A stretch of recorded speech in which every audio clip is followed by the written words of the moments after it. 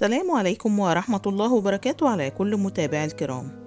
الفنان سمير صبري بيكشف وصيته قبل وفاته بلحظات. فجر الفنان سمير صبري آه، قبل وفاته وصيته وقال إن الفنان سمير صبري إحنا عارفين إن هو كان داخل أحد المستشفيات آه، لمعاناته مع مرض القلب وتم إعلان وفاته بعد صراع مع المرض.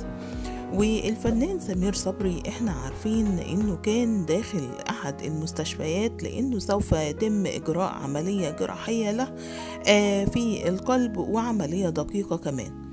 وكان من قبل شهر رمضان وكان الفنان سمير صبري في المستشفى حتى يتم تجهيزه لإجراء عملية في الصمام المترالي.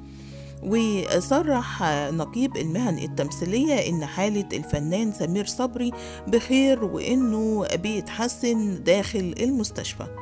وبعض آه، من المشاهير معظمهم زار الفنان سمير صبري داخل المستشفى وطمئن جمهوره على حالته الصحية.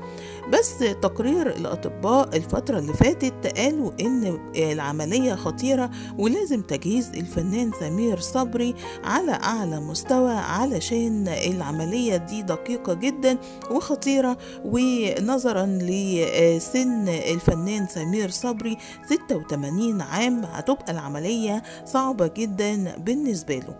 فكانوا بيعدوه لإجراء العملية.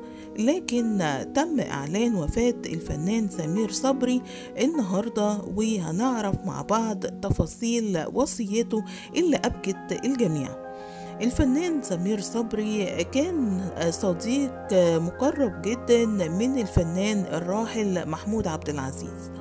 وكان الفنان سمير صبري صرح في أحد لقاءاته قبل كده إن الفنان سمير صبري عايز يدفن جنب الفنان محمود عبد العزيز.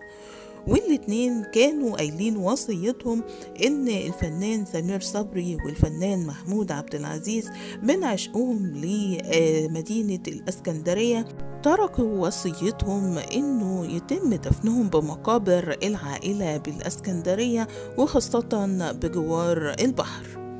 والفنان سمير صبري أعلن وصية الفنان محمود عبد العزيز ووصيته هو كمان لأن هو كان صديق مقرب للفنان محمود عبد العزيز وقال في أحد لقاءاته إن ترك وصيته بدفنه في مقابر العائلة بالإسكندرية بجوار الفنان محمود عبد العزيز.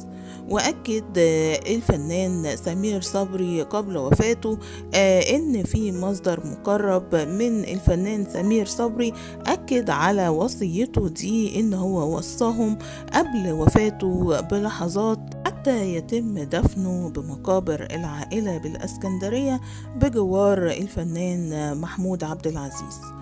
وإحنا عارفين ان الفنان سمير صبري كان الرئيس عبد الفتاح السيسي أمر بعلاجه على نفقة الدولة داخل احد المستشفيات مستشفيات القوات المسلحة.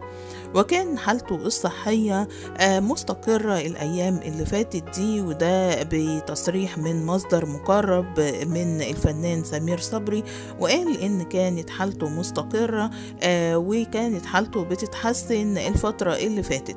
لكن صباح اليوم يوم الجمعة تم إعلان وفاته لأن حالته تدهورت مرة واحدة وبعدها تم إعلان الوفاة.